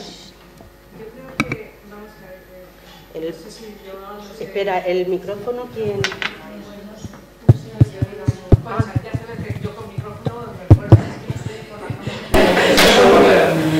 Yo creo que, por ejemplo, ahora con lo del feministas, eh, los anuncios, que la H&M, por ejemplo, ya poner cosas de- para la mujer, no sé qué, todo esto. Esto es, los esto yo creo que es que lo están desde un punto de vista cogiendo esta fuerza que realmente tenemos de, por, por de la mujer, de, por el- del feminismo, creo que están cogiendo, eh, decir, bueno, pues ahora que esto tiene poder, vamos a cogerlo en plan de... Sí, exactamente, eso es, eh, comercial y realmente pues mm, aprovecharnos de esto y dejarnos realmente todavía ahí. Después ya, como se pasa ya la moda, eh, o, cuando se dice, es que feminismo, en los, por lo menos en, los, en los jóvenes, eh, los chicos jóvenes, es- bueno, es que es una moda, es que ahora eh, está de moda del, lo feminismo. Entonces yo creo que ahí tenemos que tener un bastante hincapié porque la publicidad, que es lo que nos lo que nos está llevando, yo creo, a- desde hace años y hasta ahora, lo que nos... eh, cómprate la lavadora, cómprate esto, ahora, ahora hay que ser mm, feministas, hay que ser... mm, o sea, y eso mm, yo lo veo en muchas, en muchas pues, amas de casa, pues de, pues de, de mi edad, que dicen, es que no estamos tan mal, es que eh, estamos bien. O sea, eh, o sea, ese concepto aún hay mucha gente que todavía dice, estamos bien, panda, que si, por ejemplo, eh, en, en lo del el trabajo, ¿no? que la igualdad de lo de mujeres en los trabajos. No, no, eso es mentira. Muchas mujeres se creen aún que, que, que la mujer está cobrando menos. O sea, bueno, no sé si lo he explicado bien. Entonces, es lo que yo pienso, eso, la publicidad que se está dando, eh, lo que tú has dicho de lo de la de lo de la ciudad, eso es muy importante, lo de la publicidad, la televisión. ¿Qué daño está haciendo los informativos, el- la televisión? O sea, es que es algo, no sé, eh, yo, yo lo dejo ahí, eso, eso es lo que...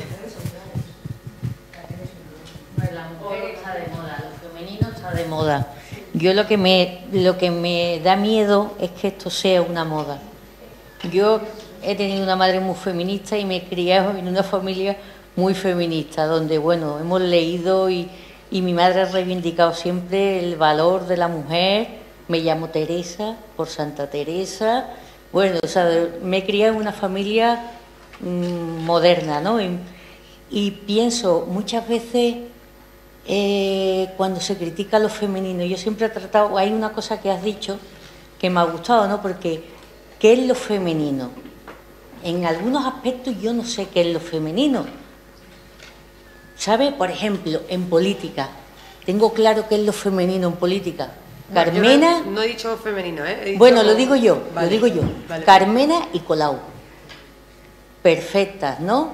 Han creado una nueva forma de comunicar, quitando ese rollo siempre peleón, gallito que ha tenido siempre el hombre, ¿no? Que ha tenido que pisarse unos a otros, hombre, siempre con excepciones. Yo tengo un marido muy feminista, ¿sabes? O sea, que no es que hay muchos tíos muy enrollados, ¿no? Pero bueno, han creado una forma de hacer política en la que yo me, me reconozco en su lenguaje, en su, en su forma, ¿no? De tratar, de comunicar, de... Uy, yo quiero Y en responder. otros aspectos me gustaría verlo tan claro como lo veo en la política y en la literatura también, ¿eh? Y en el cine. Os recomiendo Desobediencia, una maravilla. Sí, yo quería, primero, eh, cuando habéis hablado del avance tecnológico de los robots, digo yo, si el avance tecnológico es tan limitado como habéis dicho, no hay problema, se va a caer por su propio peso, ¿no? Un robot que no tiene conversación o conversación corta no va más allá, porque yo creo que el avance tecnológico está muy por encima de esas pequeñas limitaciones, con lo cual no creo que sea ningún problema. Lo que yo sí quería ver es desde, por ejemplo, desde mi ignorancia, ¿Por dónde empiezo? O sea, ¿cuál es la base del género y cuál es la base del feminismo? Para que a mí me sirva de guía. Y otra cosa es, en el tema del sexo, yo pienso que es mejor hablar de, a ver, ¿cómo explicarlo? Una satisfacción personal más que una parte sexual o un acto sexual. Una persona tiene una satisfacción íntima, da igual que sea mujer o que sea hombre, creo yo. Vale. Eh, uf, muchas cosas y grandes preguntas, o sea que es, me lo habéis puesto muy difícil. Entonces, he entendido que por un lado se ha preguntado qué es eh, lo femenino en política, ¿no? porque yo en algún punto lo he tocado, y está de moda el feminismo, serían como los dos grandes bloques, y luego el tercero que es cuál es la base del feminismo y para qué me sirve a mí el género, ¿no? Serían un poco. Vale, está de moda el feminismo. Bueno, por algo el capitalismo es el sistema más resistente de todos. O sea, así como de entrada. Llevamos eh, 500 años de capitalismo, entonces entre medias ha habido movimiento obrero, tal. Pero claro, también decían que el estado de bienestar era una trampa para el obrero porque realmente se mantenía el capitalismo, entonces lo que hacían era el chocolate del mono o del loro, o como es esto, ¿no? Es como te doy por aquí lo que te quito por aquí, ¿no? Yo te quito la plusvalía, en ningún caso te voy... Y bueno, ¿estamos mejor o peor con el estado de bienestar? ¿No? Es decir, no creo que esta actitud de hacernos trampas al solitario constantemente sea positivo. ¿En qué sentido lo digo? Creo que nosotras mismas nos desvalorizamos. Creo que el hecho de que el feminismo esté de moda es un logro político y social. Ahora, que eso es peligroso porque se puede hacer un discurso sobre que el feminismo al final significa ponerte unos tacones como Beyoncé y se... puede, claro que hay ese peligro, pero es que esos son los riesgos que conlleva disputar la hegemonía. Es decir, disputar un cambio de época. Y yo creo que es lo que está pasando. Que la masculinidad es resistente a lo largo de los siglos, decía Isabel, totalmente de acuerdo. Totalmente de acuerdo, pero ahora les estamos forzando. Es decir, en un contexto de crisis en el que yo sí veo la masculinidad perdida. Yo sí veo que están en... y que por eso hay un rearme. Porque claro, al mismo tiempo que el H&M saca la camiseta feminista, que ya me gustaría a mí, cuando tenía 13 años, poder ir con esa camiseta y que no pensaran que era gorda, peluda, maloliente, bruja, es decir, es que todo eso estaba asociado, pero no cuando yo tenía 13 años, hace 5 años. O sea, que era el chiste con el que empezaban las charlas feministas. Entonces venimos de ahí y de repente estamos en un tema que hasta Dolores de Cospedal sale diciendo, no, yo que soy feminista. Y la chica está de Ciudadanos. Claro, ¿ella representa lo que yo planteo? No, evidentemente no lo representa, pero el hecho de que ella se vea obligada a usar ese término es porque le hemos obligado, es porque ella dice, uh, es que si no soy feminista me dejan de votar. Joder, hemos parido otro, país, otro país, ¿eh? Es que hace cinco años ser feministas que te dejaban de votar. Eran los de Izquierda Unida y el PSOE, bueno, pues a veces, ¿no? O sea, y según, o sea, es decir, hay una, una transformación sustancial y eso es gracias a nosotras. ¿Que esto conlleva otros riesgos? Sí, hemos pasado de pantalla y ahora de repente existe la palabra feminazi, ¿no? Que es como, coño, tanto te jode limpiar los baños. ¿En serio? Feminazi. O sea, que estamos hablando de un holocausto, tanto te jode que te hagan limpiar los baños. ¿De qué estamos hablando, no? O sea, por frivolizar un poco sobre el tema. Eh, eso por ahí está de moda, sí, está de moda, trae riesgos, vale. vale. ¿Qué es lo femenino? Bueno, yo he sido ahí cuidadosa, he dicho la articulación. Sí. Vale, por contestarla. Por eso. Vale, pues por contestar. No utilizo el término femenino porque sí me parece que tiene cierto carácter esencialista, pero que hay nuevas formas que representan eh, valores y eh, posiciones y diálogos que son feministas. ¿Para qué te sirve a ti la base del género y tal? Para liberarte. O sea, yo creo que el feminismo ante todo tiene que ser liberador. Entonces, para mí el feminismo me sirve para liberarme cada día y para entender que hay determinadas cuestiones que a mí se me imponen y que yo no soy responsable de eso. Que hay una dinámica que me trasciende, pero que igual que existe, la puedo transformar y no puedo profundizar. Yo te contesto muy rápido. El avance tecnológico no es malo, ¿vale? Esto es lo primero. El avance tecnológico puede ser muy positivo. De hecho, eh, abre los debates ¿no? sobre qué es trabajo. Y, ahí incorporamos todo ese ámbito que hasta ahora ha sido invisible, que ha sido el ámbito de las mujeres. Definir de nuevo qué es trabajo. ¿vale? Eh, plantea temas eh, como si determinados trabajos realmente deben desaparecer porque lo van a hacer las máquinas, ¿no? ¿Por qué tiene que haber camareras de piso, que es uno de los temas que se está debatiendo mucho por todos los daños que provoca en el cuerpo, etcétera, etcétera, si es un trabajo que pueden hacer las máquinas, ¿vale? O sea, ahí tenemos todo un debate abierto. ¿Y qué trabajo van a hacer eh, las mujeres? Pero incluir en todo esto la perspectiva de género, en cómo formamos para el empleo del futuro, que igual que va a desaparecer empleo, va a aparecer otro empleo. Pero también tenemos, es, esto de la dignidad del trabajo, ¿qué? Te dignificas por el trabajo, a lo mejor hay que reconsiderar qué es dignidad, qué es dignificarse. O sea que aquí lo que he planteado es un tema que ese era el de los robots porque es un tema muy llamativo y porque es publicado dos artículos. Pero Sí. Si realmente lo han hecho con esas limitaciones tan extremas. No, cada vez es más perfeccionado, ¿no? Cada vez avanza más, ¿no? Y, pero el, el, tema ahí está cómo construimos el imaginario de lo masculino y de lo femenino, ¿no? Incluso de lo que es placer o no es placer y de cómo debe construirse la sexualidad, el placer, etcétera. Y en cuanto a cómo empiezas, léete Feminismo para principiantes. Yo es lo que recomiendo. A ver, nos quedan nada, dos minutos, pero bueno, tres. Bueno. Así que cerrar, si queréis decir algo, 50, 30 segundos, porque luego me va a echar la bronca. Pero yo sí quiero decir que quiero cerrar. Eh, ¿Tú quieres cerrar? Porque Marisa es una persona que tiene una trayectoria súper interesante. No, no, no, bueno, ¿verdad que no? Que no, gracias, ¿eh? Bueno, es que, bueno. Lucía quiere. Eh, bueno, yo quería llamar la atención sobre algo que no me acuerdo ya quién ha dicho, pero es algo que es verdad, las feministas nos repetimos mucho. Yo tengo la sensación de que cada vez que ah, estoy en un encuentro de estos, pues los mismos temas surgen y surgen y surgen. Pero bueno, que también es, es positivo y que, y que de todos estos encuentros salimos con algo. Pero sí que es verdad que tenemos que mirar hacia el futuro y eso es algo que no había pensado, así que gracias por apuntarlo. ¿Queréis cerrar 10 segundos? No, no, no. no, ¿Tú, Sara, quieres...? Yo ya... Bueno, yo solamente quería cerrar haciendo una síntesis de lo que ha pasado aquí. Yo no puedo evitar tener de formación profesional y coordinadora de grupos, y entonces quiero cerrar un poco con lo que se ha dicho. ¿no? Eh, yo diría, lo tengo aquí en las notas, todo esto se ha, dicho, se ha dicho en la mesa y se ha dicho en el público. La importancia de la imagen, de revisar la historia, porque estamos silenciadas y así nos podemos preguntar qué nos pasa a las mujeres.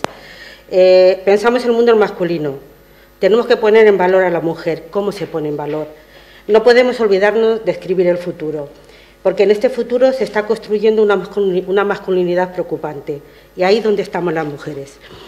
Mi propuesta es que, eh, porque alguien se ha dicho, ¿qué podemos hacer? Yo, tengo, yo lo tengo claro.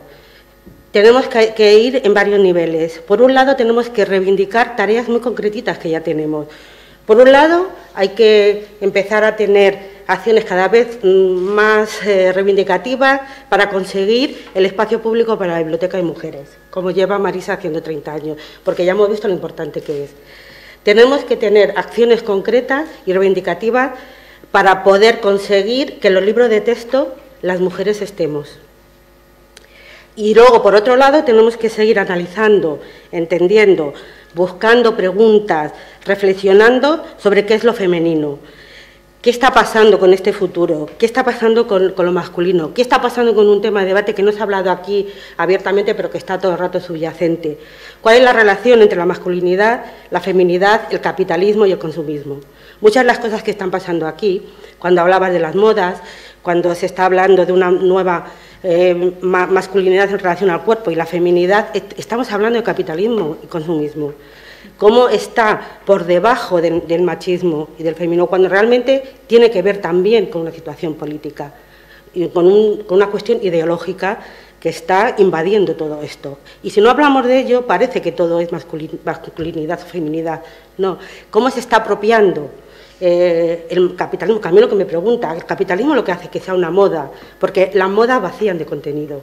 El capitalismo lo que hace que el cuerpo deje de ser lo que se ve porque es consumible y el cuerpo da dinero y el sujeto desaparece y aparece la alienación del sujeto. Y eso es lo preocupante. Evidentemente, todo esto de la perspectiva de género, como decía Isabel. Yo creo que tenemos propuestas clarísimas. Biblioteca de mujeres, libro de texto y reflexiones y análisis de qué está pasando realmente en este momento. Debates como este, con más tiempo y con más gente, o no, porque a mí me, me gusta la gente así, pequeñita, porque estamos más en casa, ¿no? Y eso es lo que tenemos que seguir haciendo. ¿Que se repite el discurso? Claro, pero hay que empezar a decir, yo lo tengo ya claro, o sea, la próxima convocatoria vamos a ver qué hacemos para la biblioteca. Espero que estéis aquí cuando hagamos otra cosa. Vamos a ver la campaña que tenemos eh, Susana y yo para el año que viene aquí en la facultad, a ver si conseguimos, junto con la Asociación Mujeres Olvidadas, hacer en las facultades para conseguir que se vea y que se vea además con finalidad reivindicativa, porque si no, no sirve para nada. A la vez canalicemos, porque si no sirve analizar, me, ya está. Me va a matar. Bueno, muchas gracias por estar aquí.